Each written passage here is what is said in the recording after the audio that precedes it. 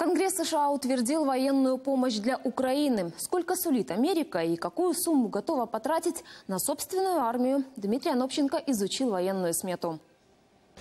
По задумке Белого дома, в следующем году финансирование армии нужно увеличить максимально. Мол, за время Обамы и техника устарела, и военные чувствовали себя обиженными, а значит при Трампе нужно перераспределить средства.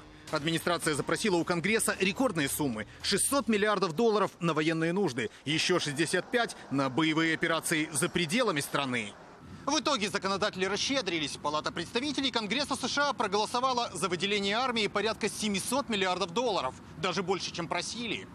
На четверть увеличат расходы на ПВО. Подозрение, что у Северной Кореи появились ракеты, которые могут долететь до американской территории, заставили народных избранников раскошелиться. Базы ПВО планируют построить и в Калифорнии, и на Аляске, и даже в Тихом океане локаторы намерены разместить.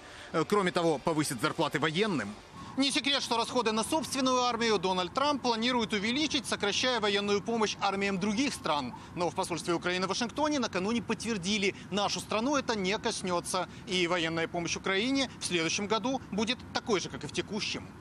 По данным дипломатов, Киеву Соединенные Штаты предоставят 410 миллионов долларов. Столько же, сколько и было, сокращений нет. Более того, в отдельном законе предусмотрят возможность предоставления Украине дополнительных кредитных гарантий. При Трампе меняется вся схема военной помощи. Раньше Вашингтон передавал оружие и технику бесплатно, и страны-партнеры брали то, что дают. Теперь же США будут оружие продавать, выделяя для этого кредиты под символические проценты. Украина сможет купить только то, что действительно нужно для армии. А гарантией по этим кредитам как раз и будут деньги, которые конгрессмены закладывают сейчас в военную смету страны.